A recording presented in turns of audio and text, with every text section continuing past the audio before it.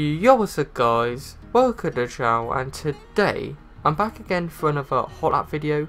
So today we're going to be doing a hot lap around Abu Dhabi in the Haas as Pietro Fittipaldi. So as we know they're back at Abu Dhabi this weekend in real life and uh, it's the final race of the season. So um yeah let's just jump straight into the hot lap for Abu Dhabi and see how it goes then. Around the final corner, just about to start the lap now, cross the line now to start the hot lap, run towards turn 1, have to make it super late as possible and use the apex as a sort of stopping point as well.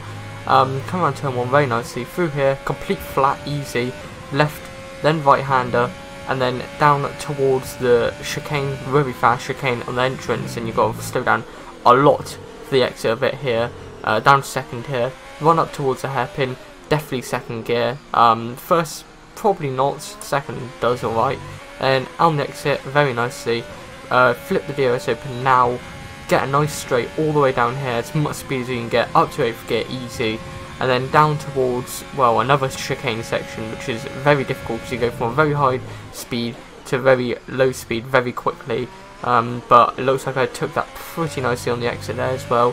Uh, flip the DRS open once again, which is the second DRS zone, um, and then coming up to another high speed, straight to slow speed section, very difficult this part. You've got to try and use the curb as a slowing down point just like I did there. I could have used it a bit better there but not too bad, it'll do for now. Uh, taking it very nicely through here, left-hander again, coming up towards the very quick straight into slow section once again. There's a lot of those sections here. Very good uh, overtaking opportunities so down towards here very nicely done. Hit the apex on the exit. Down underneath the tunnel section then um, taking it very nicely through this section um, very nicely. Coming up to the final sector now, uh, which is two double right-handers, very easily. Nicely done. Um, down to third, once again, come around the final corner, and I keep it straight, get a fast exit, and boom, there is a hot lap around Abu Dhabi.